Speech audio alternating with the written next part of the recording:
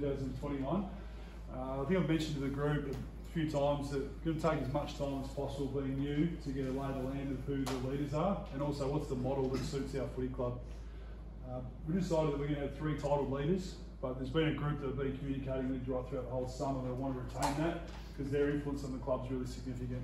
But through observations, through being, seeing them how they behave in adversity, through their contribution to the club, how much they care about the club, and how they integrate their teammates is what I've been watching and what I've been getting observations from all those around, players included, and staff. What we've decided, we've got three title leaders. So the deputy vice captain in 2021 will be Brad McKenzie. The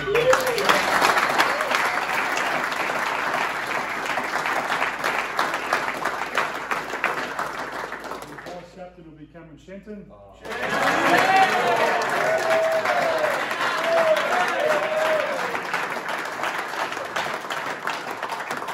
The captain in 2021 will be Matty Nunn.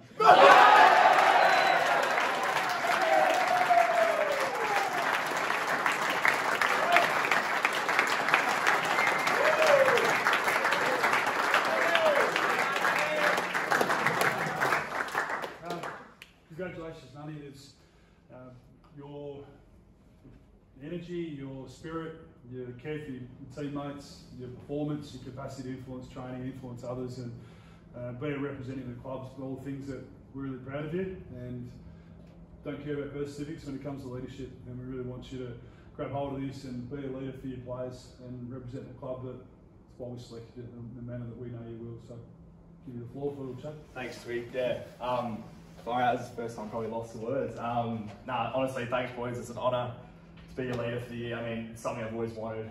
I've grown up, probably been leadership groups, but really never thought I'd be in this position. Um, really proud that this club's going where it is. Um, to have a group like you guys back me in, the coaches back me in, and the board back me in, it means absolutely well to me. Um, and I can't wait to see where this group's going forward. We've got such a young group, so like Twig said, age isn't a factor. I think everyone's going to buy in.